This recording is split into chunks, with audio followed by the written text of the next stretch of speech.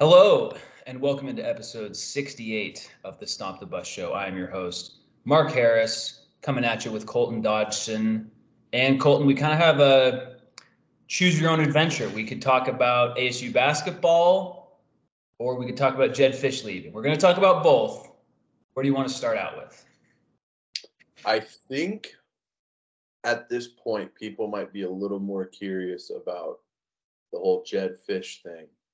Okay. Uh, so let's, Let's go, go with that that, and then we can get into ASU basketball. Sounds good.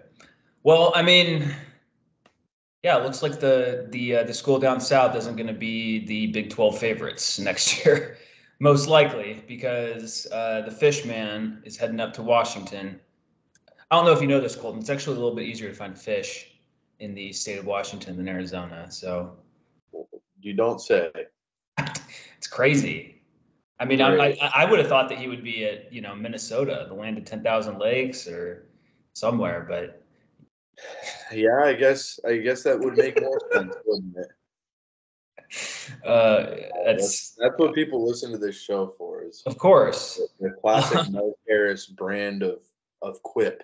of of of hilarity. Yeah, Yes.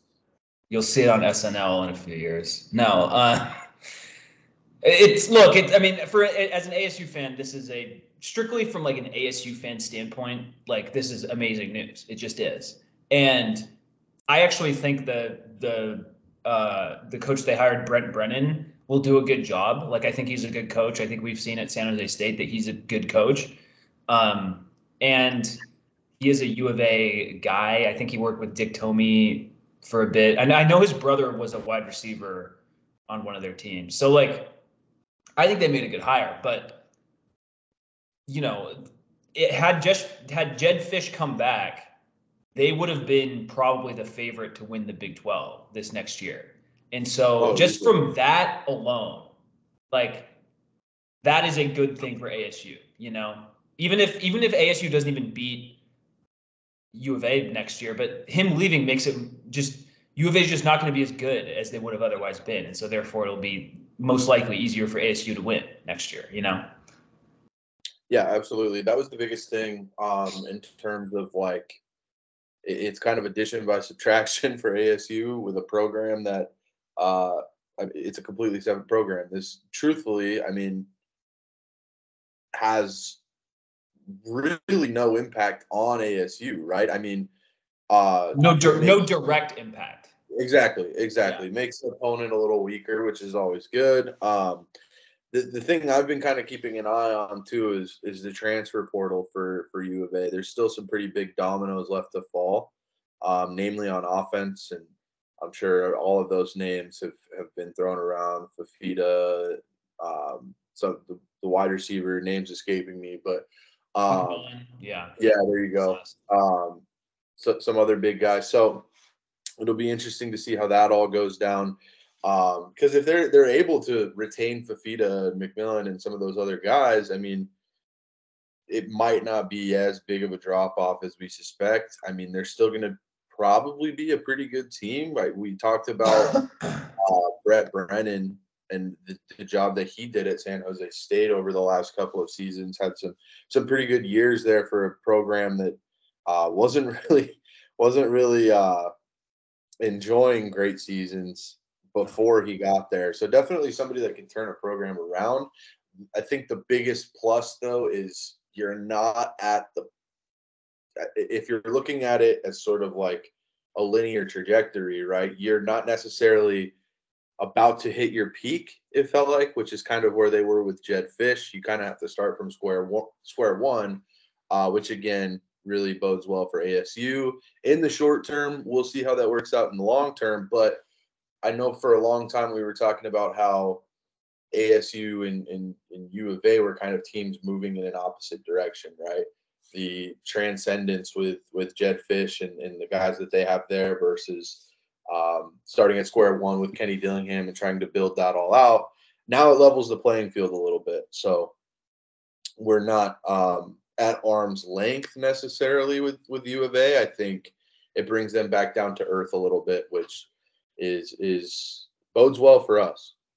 Yeah, totally. And I think it's important to make it known, at least for me, that like I don't think U of A is going to be terrible next year or anything. I just no, I don't think so yeah. either. I I just think that like, and I know they haven't. There's a good chance that Noah Fifita and uh, and McMillan each return to U of A this next year. We don't know. I mean, they haven't entered the portal yet. Maybe they won't enter the portal. Who knows? Uh, because they have 30 days to do it after their coach leaves. So they've had like four days to to potentially do it. And I know they were at the they were at the U of A USC basketball game on Wednesday night. So like they might stay. But there's a bunch of other guys who don't who aren't as big of names that have put their name in the portal already. So uh, this is just this is a tweet from Max Olson on Wednesday night. Nine Arizona players have entered into the transfer portal tonight. The Athletic has learned. Here's the list: freshman quarterback Demond Williams, running back Jonah Coleman. Jonah Coleman is very good. Like there's no you don't want him to leave. Like this is like when this is like ASU losing, you know, BJ Green and losing Conyers and losing Clark. It's like you can like it doesn't destroy your program, but you don't want them to leave, right? And so the, again, that's where that's where I put John, uh, Jonah Coleman in. Uh, running back Adam Muhammad, wide receiver Audric Harris, tight end Keyan Burnett, tight end Dorian Thomas, offensive lineman Raymond Pulido, who this guy was a five or a four star interior lineman who went to U of A and who like turned down other really big offers to go there. So that's a huge loss for them. Uh, defensive back Ephesians Prysock is regarded as like their best defender. Big loss. And then another defensive back, Jordan Shaw. Also earlier today, um, being Thursday, Arizona cornerback Tacario Davis hit the portal as well. Um, he is the second starting quarterback, along with Ephesians Prysock, to leave. Uh, yeah, I mean, this guy, they were both really good players. And like the, the, the, two starting cornerbacks from their team last year aren't as well known as, you know, Fifita and McMillan. But this, it's these types of losses that turn you into a, a 10 and 2 team to maybe an 8 and 4 team. And not that like going 8 and 4 at U of A, you know, on balance is like really good. But I mean, when you're expected to win the Big 12, like that's a huge kick in the balls. Like there's no other well, way around yeah. it. I mean, yeah. Yeah. And I mean, we just talked about last last week too, uh, hammered home on how important depth is on any team, right? And when, yeah. when you're seeing 20 guys, and I mean this this cuts both ways. I'm sure we'll see guys transfer in to play for the new coach. We're going to see guys transfer out to go play. I mean, four of the guys that you listed already have a crystal ball percentage of 100% to go to Washington, right? Like right. that's going to happen. They're going to go play for Jedd Fisch. Makes sense. That's part of this. Um, so I'm sure guys are coming in, but you're 20 outgoing transfers. You got four incoming transfers. Um, and who knows how that'll work out given the new coach and everything like that. But um, losing that depth it, you just said it. It takes you from being that team 10 and 2 contending for uh, winning the Big 12, which means so much more now with that auto bid to a 12 team playoff, right? Absolutely. Like we're not we're not really talking about oh win the Big 12 and maybe if an SEC team has one loss, we get lucky and get it. You're no, you're in. Like there's no more board leaving you out if you win your conference. So for losing you know, losing 20 guys, it's going to hurt your depth a little bit. It, it's still a very dynamic process in terms of like who knows who's coming in. Um, we still have to watch Fifita and McMillan, who are two very big dominoes left to fall, um, and how they sort of gel with with this new head coach Brent Brennan and, and who he brings in. But again, I, I mean, this doesn't like completely destroy U of A by any means. Like, let's not. Nobody's saying that. Um, it just limits their ceiling. It limits their ceiling and it brings them back down to earth a little bit. It levels the playing field a little bit with with ASU, uh, at least right now. From the yeah, that's oh, of course. Yeah, no, so, everything in college football, college sports is just about this upcoming year. You know, because we don't know like everything. Well, I just mean like today. I just mean like today. because we don't we don't know who's who's leaving, who's coming in. Just you know, right. based on losing a guy they have that continuity with and, and having to start from square one with a brand new coach, obviously it's it's a big blow. So we'll see how that manifests as we progress through this off season into spring ball, into fall ball, all that stuff.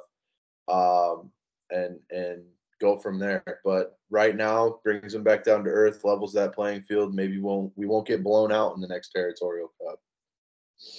That'd be nice. Um, yeah, and it's it, it I, I am of two minds right now because as a like just a college football fan on one side of my brain, I'm like, this is just really shitty how this all has gone down for really. I mean, eh, Washington as well, honestly. Oh like, yeah. Like having your coach leave after you make it to the national championship game, and there's there's some rumors that he was like in talks with them even before that game kicked off too. So that that adds some salt into it. Uh, but then you're but then that that you know uh, uh, what's chain reaction causes it's like oh okay well you're UW now I now we have to hire someone and it could have this could easily be all the Kansas players being mad because they hire Lance Leipold or they hire Kansas State head coach uh, Klieman, but they hire Jed Fish.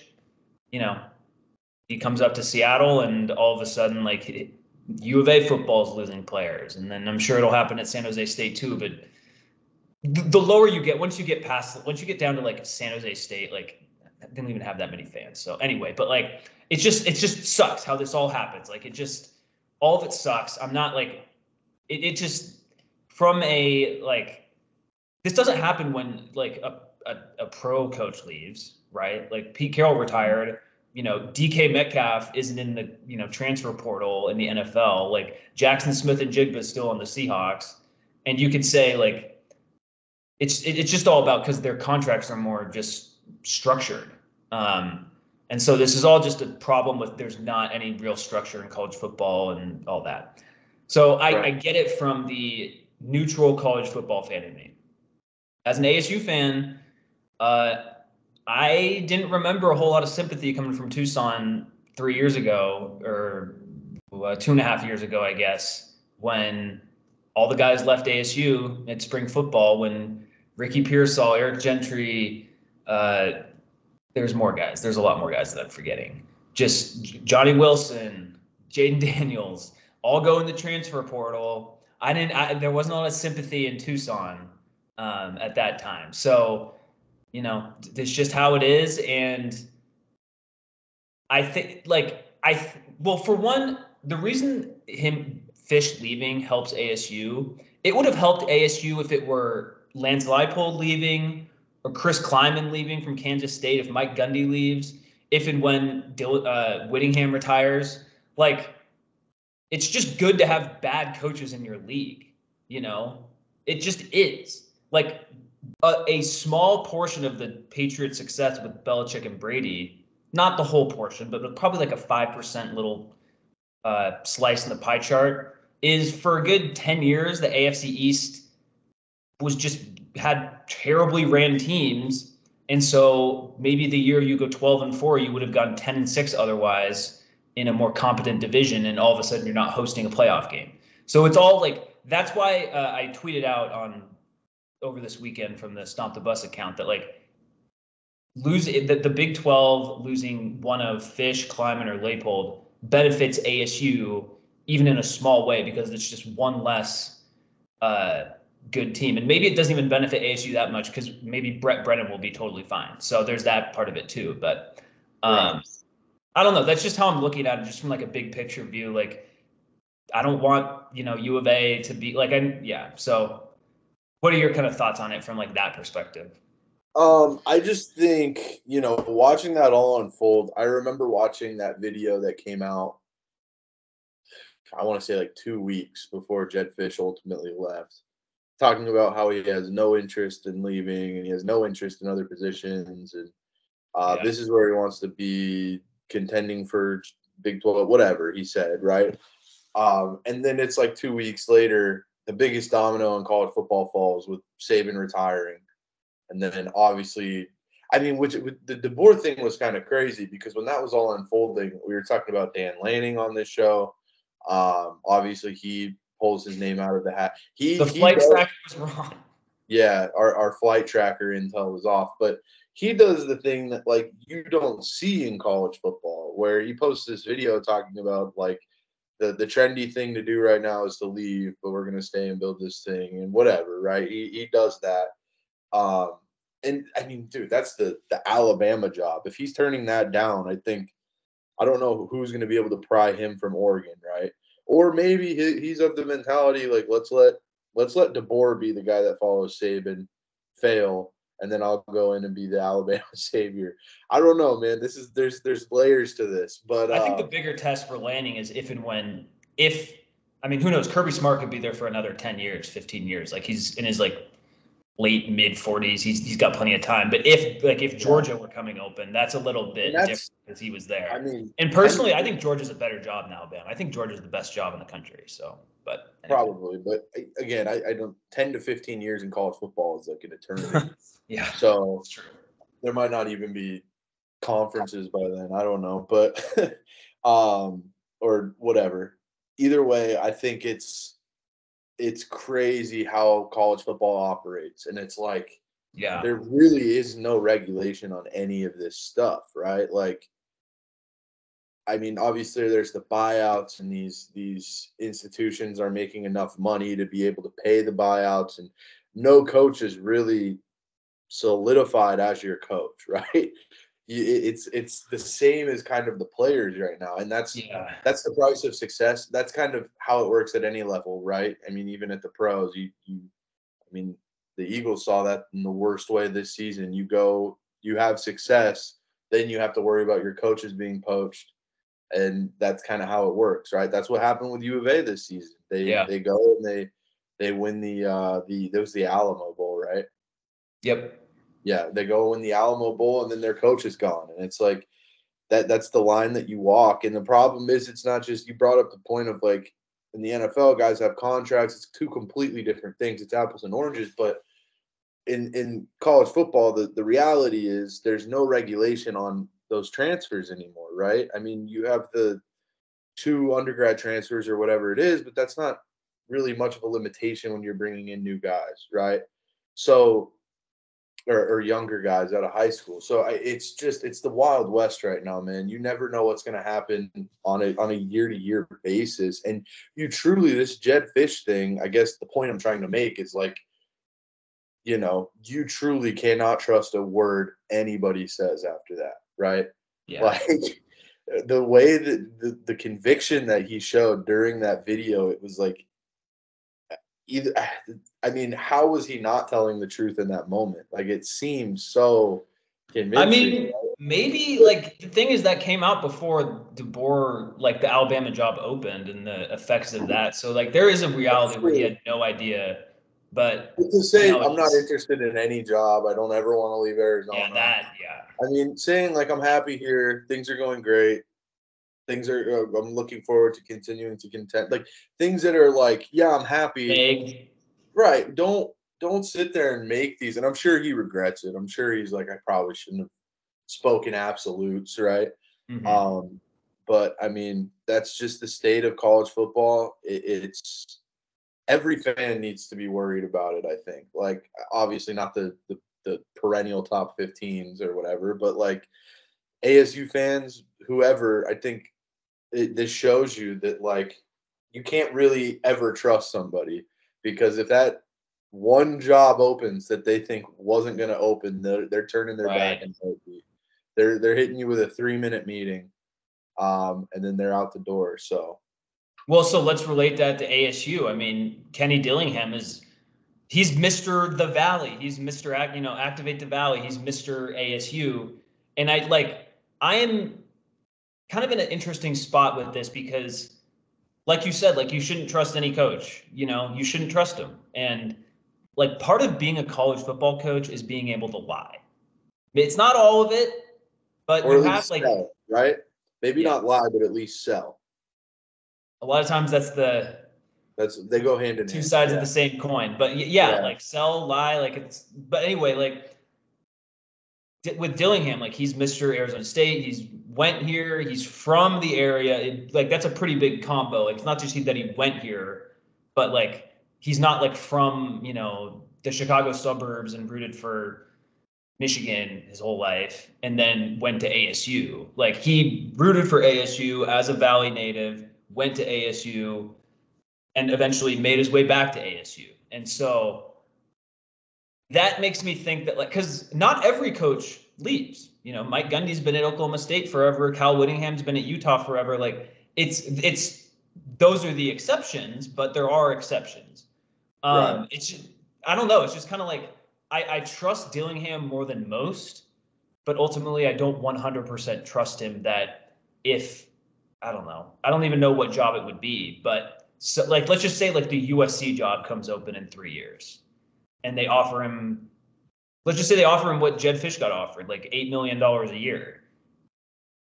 Yeah. I don't know. I think again, you can't this is Dillingham is it's he seems like it might be a little different. The guys that you rattled off, Gundy and Whittingham and those guys, they seem like old school guys, right? Like they were in it yeah. for the long haul. They were there to build something uh, you know, and and that could have factored in. I obviously I wasn't zeroed in on college football when they, they were in their their first and second seasons as coaches, right? But like casual.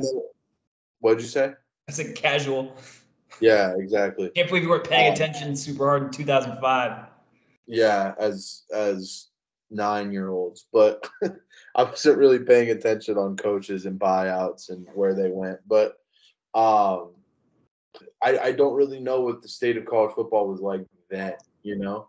So maybe yeah, that factors into it a little bit, but I agree with you. I think I trust Dillingham more than most because of that history with the area, right? That's not so. In, in the case of Jedd Fisch, they they got him from the NFL, right? Yeah, was, and they they like were in a terrible, terrible spot as a program. This was at, this is the coach they hired after the 70 to 7 game. And, and look, I mean, ASU fans, like we've won six games in the last two years. So it's not like we're doing great, but they were e- even worse than like the A, either ASU team you saw this past two years would have destroyed where U of A was at that point. Like that was a that was that was down. Like it's the worst. That's like the worst you'll ever see a Power Five team be. You know, so it's they, they just needed to find someone, you know, and so ultimately, if you told an a, a U of A fan like at the time, like, hey, like your program's going to be completely turned around, you're going to win ten games, and and three of the three of your or two of your three losses were in overtime too. So like you were you were a good team. You didn't like luck into ten games. If anything, you were kind of unlucky to only win ten games. But this guy's going to leave like, eh, like I, I don't want him to leave, but ultimately the program, like one thing that is absolutely true is that U of A football is in a much better place now than they were pre Jedd Fisch, even with guys transferring out right now. You know, hundred percent. Um, and I mean, dude, you sign up for that every every time, right? Yeah. If somebody says you're going to win ten games and win the Alamo Bowl and and almost right, you, you your losses are in overtime, so those are like thriller games too. Like you, obviously it sucks to lose a coach, but you sign up for that, right? Especially when, I mean, U of A and ASU have both been down really bad. Obviously, U yeah. of A was in a terrible spot. We were in an awful spot this year. So yeah. It, it's, I mean, if you were to tell me, yeah, we're going to get to 10 wins in two seasons, but Dillingham leaves the next season, it's like, okay, then we're going to be in a much better spot. And maybe we're going to be able to bring somebody else in who can who can take it over, and that's got to be what U of A is thinking right now with with Brent Brennan. So uh, I think is, you sign up for that every time. See, I don't. Uh, that's tough as an ASU.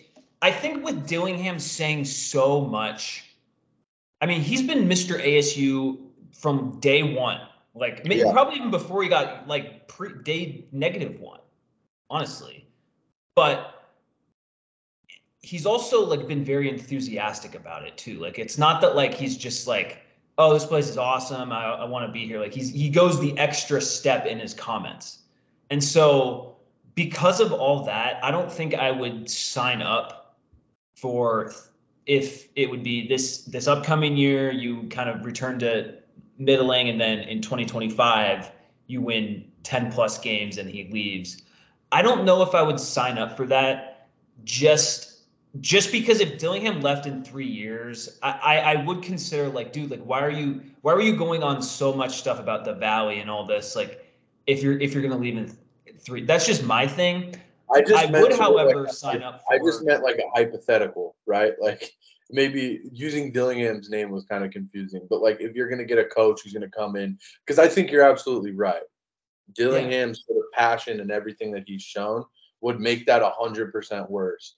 But if you're going with just some hypothetical coach, kind of like who Jedd Fisch was, right? If we're putting ourselves in, I see, I see what you're saying. yeah, that's all I meant. Because you're a hundred percent right. Like a guy like Dillingham leaving after three years, after how hard he's sort of like dug his feet in the sand, so to speak, would be like We think okay, so anyway. You know. Right. It would be like, okay, you truly can't trust anybody because I feel like we're both in agreement. Dillingham is kind of the exception to the rule in that regard for us based on what he's shown so far. Right. Yeah. Yeah. I mean, we think anyway, you know. Yeah, exactly. And- all you can do is is go off of what somebody's telling you. Um, Right. and what we're hearing. So I mean, he he seems like this kind of seems like this was the ultimate goal from the jump was to be at ASU. Yeah, totally. So- and the other thing is, I would. So I was looking this up today. Dillingham's contract, when he signed it in uh, December of 2022, five-year contract ends on November 27th to 2027. So end of the 2027 regular season. Base salary of 3.85 million with hundred thousand annual increases. So by the end of that deal, he'll probably be making like five million bucks a year, and that's just before any sort of bonus.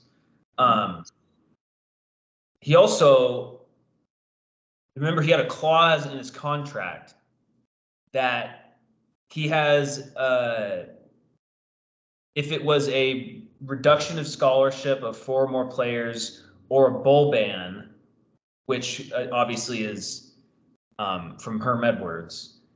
Uh, this clause, or it's a, an addendum, uh, triggers an ASU extension for each year the sanctions are in effect. So he really has one. He's his uh, contract really goes through 2028 now because of the bowl ban last year.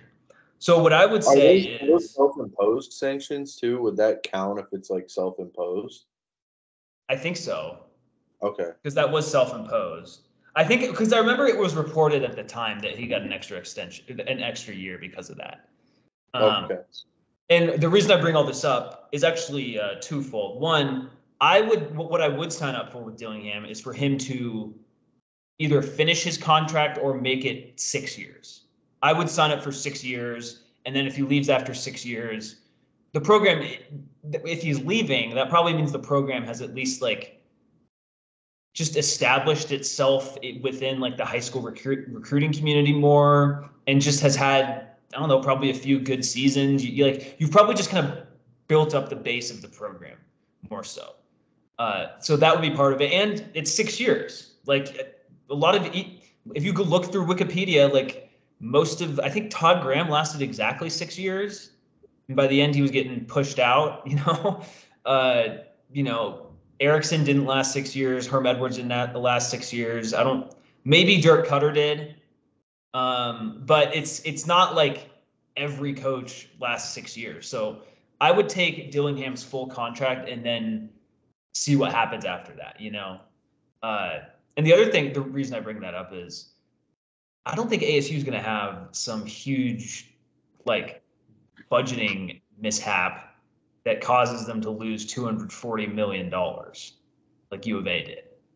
And That's I'm sorry, like that absolutely factored into him not getting like an extension or whatever. Like I don't have any I'm not I'm not sourced in this at all, but like the idea that just the university's missing 240 million dollars and things are going to have to be cut, like to believe that that had zero impact on him because he wasn't making that much money. I think Dillingham makes like made like a million dollars I think Dillingham's current contract was like a, at least a million dollars more per year than Fisch's was at U of A.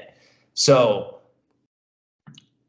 I, don't think ASU is going to have that type of like financial When- problem to that When level. was, how long was Jedd Fisch's contract with you? Do I don't know. Uh, let me Let's see if I can find that. look that stuff up on the fly because You're right. If, he's in the last year, okay, a person familiar, Fisch had agreed to a seven-year contract. Oh wait, no, this is for Washington. That's My Washington. bad. Yeah. Um. Report: Arizona Fisch have agreed. So this says agree in principle on restructured contract. Five days before. Oh, so the university have an agreement in principle on a restructured contract with a boost in pay, but it has to be approved by the Arizona Board of Regents. And then, yeah, he was gone. That was on January 13th. He was gone like, has to be Oh. approved by the board of regents. I don't. Yeah. yeah, that's that's crazy. But anyway, um yeah, they they tried. Okay, so it looks like they tried to update his deal with the interest coming in. Right? So they were trying to like Mm. entice him to stay, and it just never happened. But anyway, I mean, it seems like that might have been a little too little, too late, right? As like right. that was that was reactionary versus like let's do this now, trying to get ahead of it and being proactive about the fact like, hey, we just won the the Alamo Bowl, we just beat Oklahoma, we finished as a top fifteen team. We were nowhere near that three years ago when this guy got here. Let's sort of read the tea leaves a little bit, recognize the fact that with the uncertainty of college football, this guy might get poached, right? So like Yeah. I don't know. They they might have they should have been a little more proactive about that maybe, but again, it's there's blame to go around, I think, but Yeah. I mean, some of it's just circumstance. yeah, and the, just Yeah, the individual as well. Like some people want to leave more than others, and uh, you know that's just how it is. And so, yeah. uh, but yeah. either way, Well, yeah. hopefully ASU picks up like I don't know how much more guys they're going to portal in just because they've added so many guys, but I don't know. Hopefully they pick up you know a guy. There's four schools open right now. There's Alabama, U of A, Washington, and I guess San Jose State. So hopefully add a player or two. Maybe someone who wants to come back to Arizona. I don't know. Um, so we'll see. I mean, UW had some Arizona guys on their team. I'm sure. I, I think they're centers from Arizona. So Well, what just happened too is um, Noah Brown from the the alma mater Centennial uh, decommitted from Washington. He's Noah a Carter. Noah Carter. Why did I say Noah Yeah. Brown? I was looking at our our. Uh, I was the looking at Texans bet. I was looking at Raleek Brown. I was going through our transfers and I just took his last name and put it with Noah Carter. But anyway, Noah Carter from from the alma mater, man, four star guy. I guess he tore up one of those those high school games. Uh, he's visiting Alabama, Well, one of those high school like all we're recruiting him at Washington. Just you know, probably thought he was good enough to go go to Alabama. I guess so. Right. But who knows, man? Maybe that's something that they'll try to jump in on. He reopened his recruitment, so That was, I'm sure. Oh, I'm sure Dillingham has. I'm sure Yeah. Dillingham has. But if you're, this is where like the the whole local recruiting thing. Like I, I think people need to fine tune their arguments a little more. I guess is like you should be recruiting Noah Carter 100. percent But he went. He he was he was at UW beforehand, and now he's getting offered by Alabama. So like, oh yeah, it looks like well, you can only do so much as as a Yeah, yeah. ASU It looks like Alabama's crystal ball's at hundred percent. So yeah. we might have we might have missed on that one a little bit. But I, either but way, I, I like the idea of trying though. You you have to Yeah, try. I mean, but that's what we were talking about with the the um the fallout of these decisions, right? Is you never know when a when a local kid is committed to one of those programs, and uh and you can you can at least because who Yeah. knows, man? With this transfer portal era, we've talked about that a ton.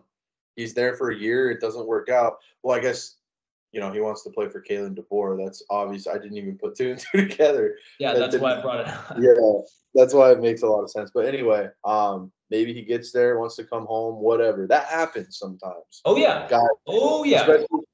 as far as Alabama, that's not.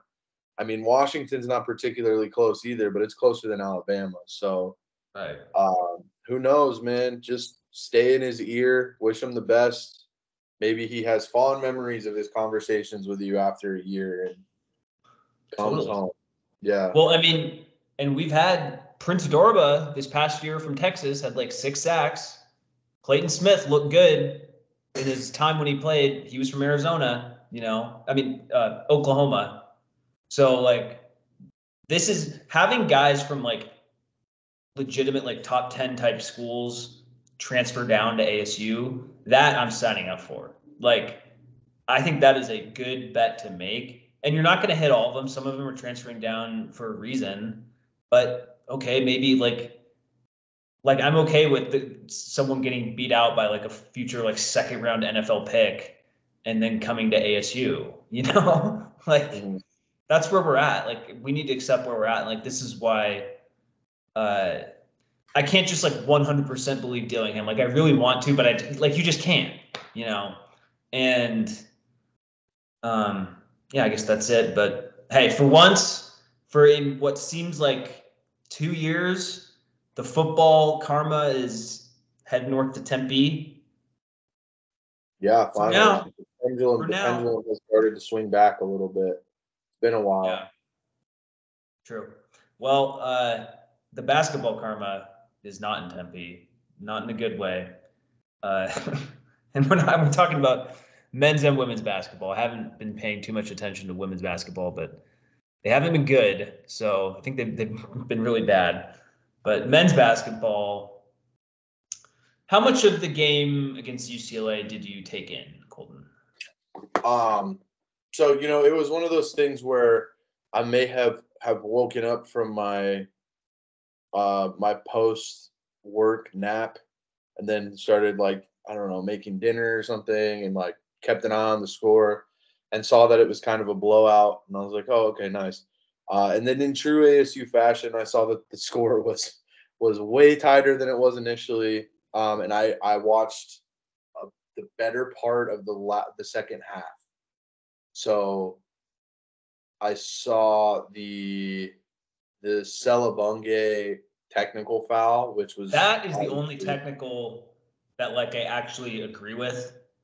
Um, Well, yeah, no, that one that one made sense. He like got in the guy. I get it, yeah, but I mean, all I'm saying in that situation, you got to be you got to be smarter because that's that's four shots. Uh, I think they only ended up making two, but uh, still that that gave them a two point lead. Um, but yeah, I know that Shawn Phillips was ejected. Uh, four technicals in the second half, right? Five Yeah. total. I I believe so. I'll look at the box score again. And I mean, It- you lose by three points, man. Like, Yeah, or two points. no, it's it's tough. I I want to blame the refer. Like the thing is, like if th- I'm saying this, but this isn't really like the theme of how I feel, if that makes sense. Like if they had just gotten like neutral-ish refereeing, they win the game because there wouldn't have been that many technical fouls, and ASU would have kind of just instead of blowing the second half lead, they would have just kind of held on to its second half lead. But that said, this was a winnable game for ASU. Like winnable. Like a like it was weird. I was watching the game with my our friend Matthew Tonis, and I looked at him and like probably like eight minutes left to go in the first half. I'm like, ASU is just a better team, like has better players. Like, and I don't like I agree. Like I don't I don't change that opinion. It's just oh, this team can just be disjointed so quickly. Like every time they have a big lead, I'm like, okay, like this is good we have a lead because I know that we're not gonna like if we end up winning by double digits, it won't just be because we held on just steadily was up by double digits the whole time. It'll be because a 11 point lead turns into a three point lead, and then you go on a run again, you're up by 12, and then, you know, like whatever. Or that you lose the lead like you did on Wednesday night against UCLA, a bad UCLA team, too. That's, that's, yeah. Sucks. That's the worst part, man, is that's, that's not a good team. Um, no. You know, you, you, you have everything go the way that it went. Um, in terms of like the technical fouls, and obviously it's emotional. And I, I did like what I saw from Frankie Collins after the Selebangue He's good, foul. man. Yeah, yeah, yeah I agree with that. Blossomed into an insanely talented player or an insanely um, effective player for this team, yeah. efficient player. Anything you want to do, yeah. he has become like the guy for this team. And I thought his leadership after the Selebangue technical foul was like, okay, he is he is the alpha dog on this team, right? He is the yeah. he is the leader, and he was kind of coaching Selebangue up in terms of like, do not lose your composure like that. Like it's gonna hurt us. And you know, a lot of times it's just like guys guys don't really get involved like that. So to see that from him was like, okay, they do have that leadership. That's good. I think what stings the most about this, obviously, when you're looking at the standings, they're still four and two in the Pac-12. Dude, I don't care like, about this. Like, yeah, I, yeah, they're still second. But once you look at like who they still have to play, it's I don't know. Like that. That's one that you had to win because of the state of who you were playing. Right. So it, it hurts. What sucks? It hurts. Yeah, and what sucks is you shoot 40% from three. Yeah. And you move like incredible three point shooting night. That really hurts, man, because you're probably not like sure you're, you're gonna get a few more games like that, but you're not gonna like 40% is tough to reach again. Like especially from what we've seen from this team. Like having Adam Miller helps for sure. And Adam Miller is very good. Um yeah him I mean, him being back on the floor like that does make a difference and Phillips as well but yeah it's just like with this team it's they're clearly better than the last or this two episodes ago when we spoke back in like December and they're just getting destroyed just blow just gross embarrassing blowout losses uh I mean after that Northwestern game. It was just awful, and the TCU game was bad, and the two other uh, BYU and Mississippi State were bad. It's, it's just like you're just like spiraling. Like, what? How bad could this get? And in I would say in the entirety of Pac-12 play, even including this two-game losing streak, it's you look at the team and you're like, okay, like this looks this is a functioning team. Like they you can see like how they can match with other good teams they can score. They have multiple guys who can shoot. They may not be, you know, hot that day or anything, but like there are guys, there are multiple scoring options. All this, um, but it's just like even in. Sorry, uh, some random ad came on. Um, but even in like the span of good play that they've had, you still see just the like the lack of cohesive cohesiveness at times and just like I don't know, just undisciplined undisciplined play that you still see. Um, and you saw it in the Bay Area series too, but you, it reared its ugly head last night to a bad yeah. UCLA team. It's That's, one of those things where like it's so hard. Playing sports is so emotionally charged and competitive yeah, and all of those things. And when you have to like when you feel like you're not only battling the people you're playing, but you you feel that you aren't being officiated fairly, I think it's really hard to keep those emotions in check. That is true. Right? When you feel like this it, it should not be going this way if this was an objective uh, officiating job, right? And obviously, who knows where the officials stand, whatever. Who knows well, what the reality the guy, like apparently the guy who did it has like a history with ASU, and so like his name's Tony Padilla, and like they try not to have him do ASU games that often, and it's like, of course, like of course that exists. Yeah. Um, but I mean, I it's so hard to like go through that. Like I just know if I was dude, I used to do that in intramural basketball. Like I get I get teed up in intramurals all the time for talking shit to refs. Like I, I get it. Um, but oh man, it's it's and I feel like when you have a guy as charged up as Bobby Hurley is all the time, you know he's gonna go to bat for you, you know he's gonna go to what he's getting texts himself. Like, I don't know. Sometimes that can that can be tough too. And the ASU isn't built to uh, like I guess mentally and emotionally built to withstand what they had to deal with last night from the officials. They're Yeah, just not going to be able. They're just not going to be able to let that slide. Or maybe this is a teachable moment for them. But I, I don't see a team coached by Bobby Hurley necessarily being able to tune that out when they feel it's affecting the outcome of a game. Yeah, and like I've defended Hurley on this show. I think that you know whatever it's ASU basketball, you kind of have to live with some like the the alternative is likely worse. Um, but it's when you're always arguing with the officials, and he was on it early in the game, like within the first three minutes, and it wasn't even something. Something it was something minor, and it's like when that's that's when you set the tone of that early in the game on a frequent you know basis then like human nature kicks in with the refs and maybe they're gonna call like they're just gonna not gonna make as many calls or whatever like they're they're gonna screw you intentionally or subconsciously Right. and I mean, there. Uh, Adam Miller shared on his Instagram one of him going up for a layup, and the guy just hitting his it- arm, and they just didn't call it. I think it's Adem Bona too. Yeah, and he's he was good. Although Yeah. I don't, he's not like offensively great, but he can defend for sure. No, but I'm saying that's who I think hit his arm, which Right. would have been his fifth foul, I think, too. Yep. So obviously that That's missing that is big, but um, that's why we need robot officials. So Yeah, I don't know how I don't know how well you can. I don't robot officials for college basketball.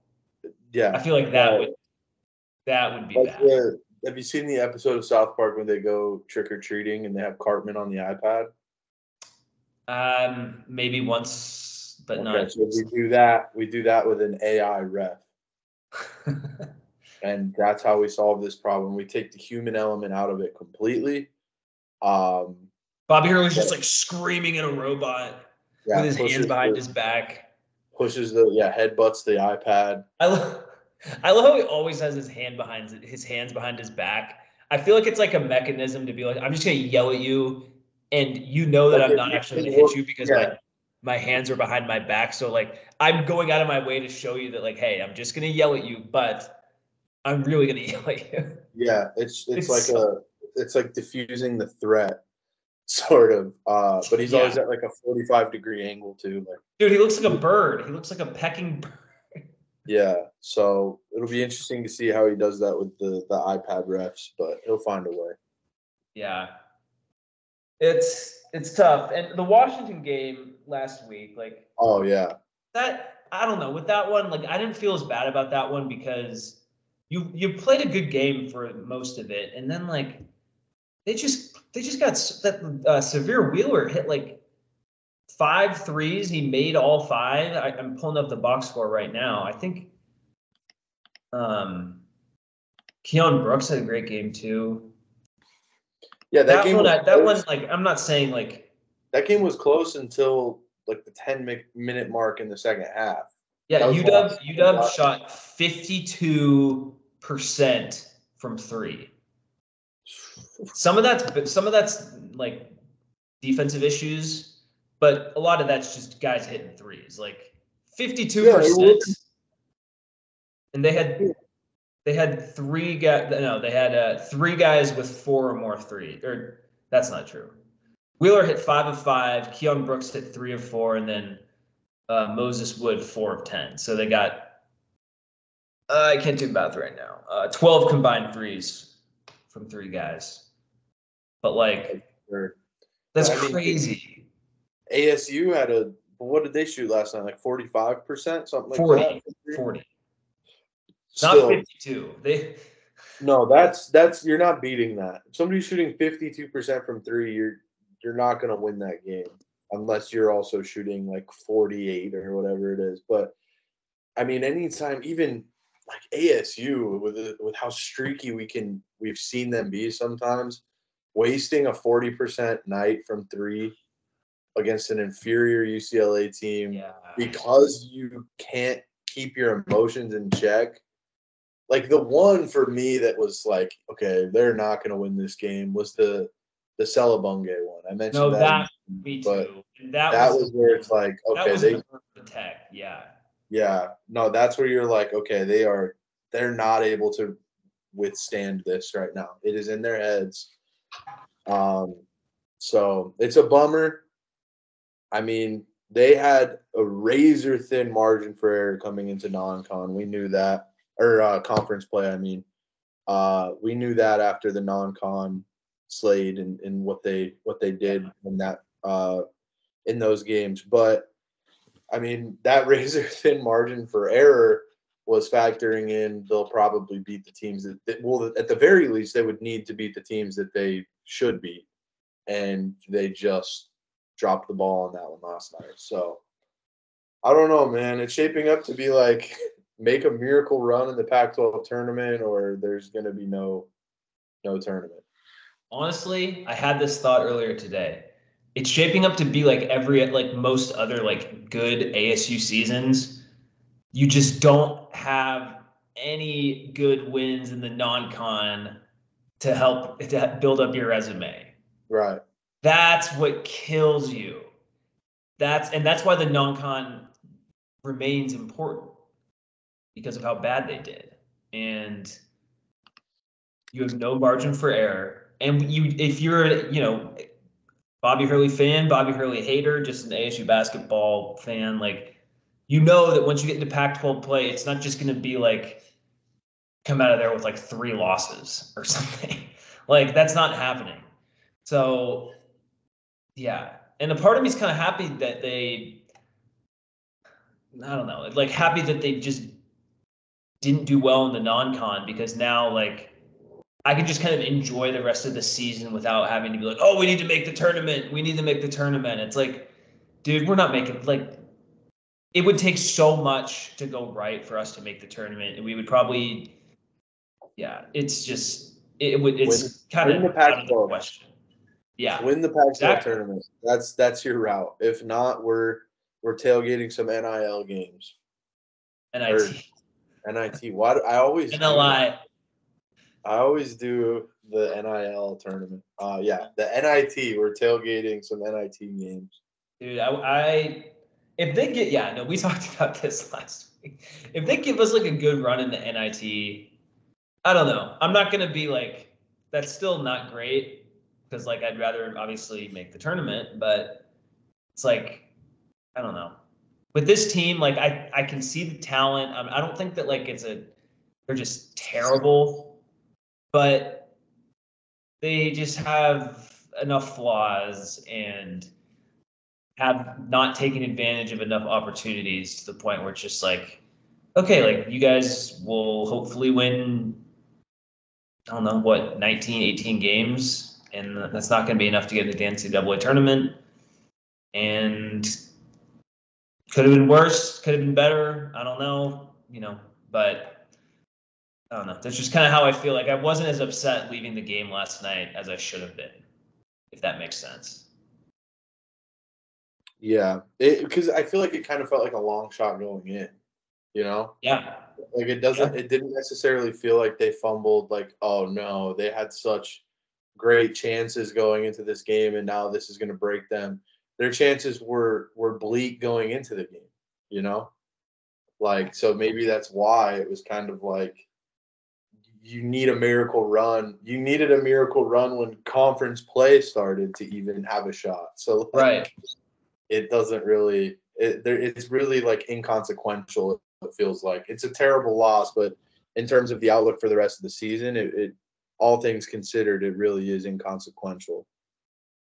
Yeah.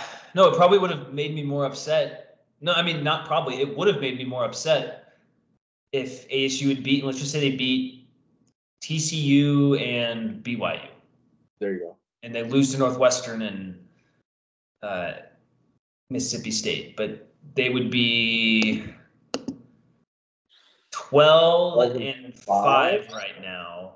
Even even with the four and two Pac-12 record, I would probably be more upset about losing to UCLA in that scenario because it's like, no, you're actually messing something up. Like, Right.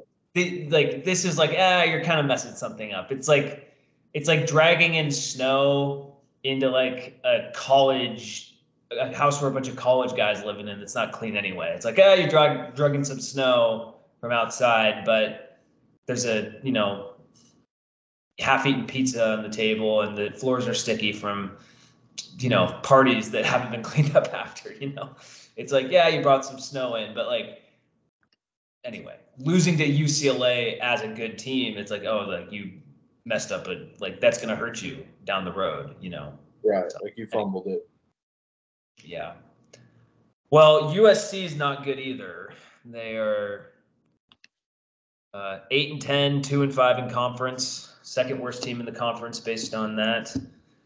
They won't have isaiah collier for saturday's game. Asu should win. They should but i don't know i am i am prepared for either outcome Yeah. Let's see. Knowing that going in, we are the better team. Yeah. I mean, that's that's what we had last night too. So Yeah. Yeah. I mean, at least at least you get to watch some Bronny, right? I'm kind of excited to see Bronny, I won't lie. Yeah. I'll probably just end up watching that one because it's on Fox. I'll just end up watching that one at home. But Yeah, dude, I'm, I, I like that it's at noon because I can just watch it and then watch the two divisional games on Sunday oh, is that Sunday? or on Saturday. On Saturday. Yeah, there we go. I was like, is that game Sunday? Yeah. Um, yeah, man, it'll be nice to have that. They they always play so late. It's annoying. I like those mid afternoon games, and they're so rare. So Yeah, I know. It's yeah, it'll be cool just kind of yeah, just kind of get it out of the way. honestly. Yeah, yeah, we'll we'll we'll know early. um, Get it Yeah, out of the way. I don't know if I'm gonna be able to watch divisional games, man. Oh, that's I like. I need to take a break from from football. It it took years off of my life the last month and a half. So I don't know if I'm gonna gonna miss it. Gonna, this is the best football weekend of the year. Mm, to. arguably. Yeah, I'll probably end up turning it on. I my thing is I am just terrified that the Niners are going to do it, and I I that would just be the straw that broke the camel's back for me in a terrible football Yeah. season. They, I don't know the NFC. Like, I I- have a hard time imagining the winner of the Buccaneers Lions game going to San Francisco and winning. And I really, it's going to be hard for me. I really don't think the Packers are going to win either. But the Dude, Packers I did look will- awesome. in their last I game. will say this: Jordan Love looked fantastic. Whatever they're running on offense, whatever scheme they're running, it's working. You can, I think the Niners front seven is their strength, right? So if you can scheme up to be able to throw on them, Jordan Love can make the throws. Who knows, man? Yeah. I think they're more. I think they're more built for an upset than people think. Maybe That's that's, true. just my absolute hatred of the Niners speaking, but um, I don't know, man. I'm holding out hope because if I have to see a Niners or a Chiefs title, then it's just I don't know how I'll come back from that. I might retire for good. Well, you got to be rooting for the other bird team in the playoffs then, the Ravens. Yeah, I would. I would like to see the Ravens get it. That would be. They are the biggest roadblock to either of those teams. Yeah, I I wouldn't mind a Ravens title. I mean, obviously, my my number one. I want to see the Bills do it. They deserve it. Bills or Number- Lions. Bills or Lions winning it. I, I'm good with that. But Niners. like the Buccan- Buccaneers versus Texans or something. It'll probably just be Niners versus Ravens. Uh, yeah. I mean, if that's the case, they need to look at going back to two buys because the last two Super Bowls have just been chalk throughout. And it's like, because one team, I think that rest disparity makes such a huge. Yeah, I I like the two buys better. No one was asking to change that. The only That's the reason they did is because of the, the COVID year. And they just, because teams were having games canceled and stuff or postponed. and- Yeah, but if they, they would have changed it back though, if they. But that's what I'm saying. The only reason they changed it to begin with is because of that wonky schedule. Well, maybe they just use that as an excuse. It could very well could be. The NFL is trying to, you know, now they get the super wild card weekend and all that stuff. They have more games. So Yeah. um I would I two byes would be awesome, but whatever. It's a nice little Well, detour. College football playoffs gonna have four byes out of eight teams, so There you go. out of twelve teams. And those are those would those just be the the strongest four conference winners? I think so. I don't know. I do not know. Um, probably we could look that up. College football.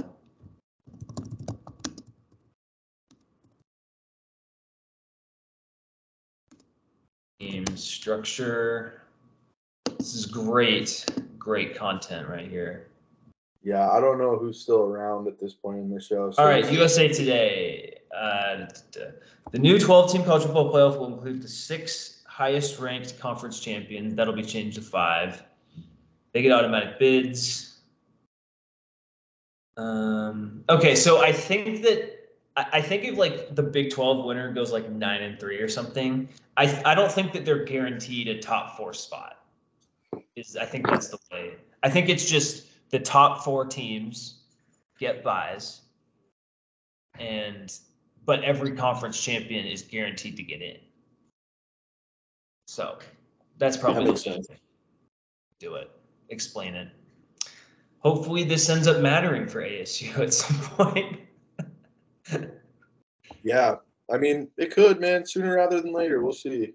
It could. It could. TCU was in the national championship game last year. Arizona just won 10 games, so things happen. Exactly. All right.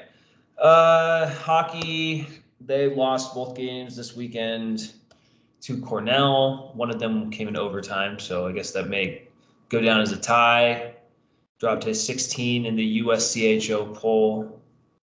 So not a great weekend for them, but they got to just keep winning because they. I think they're just playing all these like teams that are like not very good teams, and so they. It's kind of like ASU in the Pac-12 with basketball. Like you just got to beef up on these bad teams, and it's just you just need to avoid losing to them more so than beating them. But that's where they're at, and this is weird. Like I don't know. I saw Ralph Amsden bring this up the other day on Twitter, or X, as it's known technically. Uh, there's been nothing, no word about an AD search. Oh, Like- for ASU. Yeah, it's been like two months now since Ray Anderson has uh, switched roles within the university, and there's no way, like, there's not even any rumors. And like in like this past week, Ohio State hired Texas A&M AD Ross Bjork. They did it within like a two day span, and it's like, like why why is this going on? You know, I don't know. Yeah, no, I agree. That seems that seems strange that they haven't gotten the ball rolling on that, but I don't know, man. Michael Crow is a different way of operating, so we'll see. Yeah, that's oh. It would be He's just so smarter. He's it just would be so than great if like the Arizona Board of Regents said like, "Hey Mike, we're going to overrule you here. You are not making a choice for athletic director. We'll pick someone who like isn't like doesn't have huge red flags or anything like that. Like I get it from that perspective, but just I wish he wasn't involved in it because I just feel like So would that mean that Jean Boyd right now is like? Oh wait, never mind. Dr. James Rund interim. it's Rund. AD. Yeah, some guy named Rund. Yeah. Okay. I, I just- think. just I mean, that. I don't know how much you like. I have no idea what like the role of like an interim athletic director is, but I feel like it's probably just a lot of just like natural job tasks that are we're always there. I don't know, like a lot of emails and just a lot of just general stuff. I don't think it's like you're making a new hire for anything, you know. Yeah, so he is currently the senior vice president for educational outreach and student services, and he's an associate professor at Mary Lou Fulton. Um, and I guess he is currently the athletic director for ASU. But yeah, I don't know. I don't know what the the responsibilities look like for an interim AD. Um, but I, I just run the day to day. I guess I don't know. Maybe Yeah. Yeah. maybe they're comfortable with what he's doing right now. I, I have no idea. Yeah, I don't know. I just, I, I, it, would- I would like some clarity on that because I feel like having a Well, I can- strong I can just- I can just text Michael Crow and ask him if, if Hey, that's all you Mike. If that's all you need is clarity. You should have just asked, dude. I would have been happy to text him. Yeah. All right. Got anything to add, Colton? No, I'm good. I think we covered it. Yeah, I feel like I feel like we did. So, uh, have fun with Coach Brent Brennan, U of A fans, and I. I'm talking shit, but like we're we could still easily lose to them next year too. That's the sad thing. Yeah, I don't know. Maybe he'll be good. We'll see. We'll see. What a what a great enthusiastic tone that we have. But all right, as always, thank you for listening.